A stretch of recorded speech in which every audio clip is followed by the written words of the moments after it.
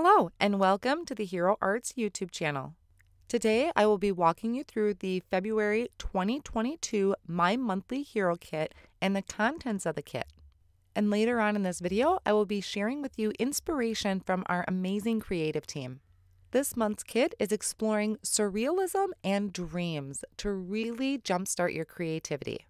You will receive one 6x8 stamp set, 15 coordinating frame cuts, two sheets of black watercolor paper that measures 5.5 by 8.5, and a watercolor dot dream palette, and also a water flow brush.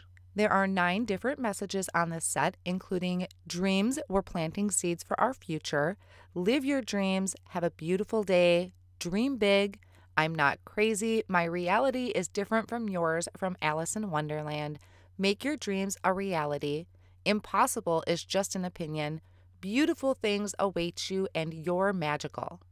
The watercolor dot dream palette includes a variety of colors and also some iridescent on here to really make your dreams shine.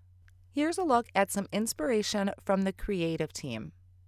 We are celebrating this release with a blog hop filled with amazing inspiration from the creative team and also friends of Hero Arts.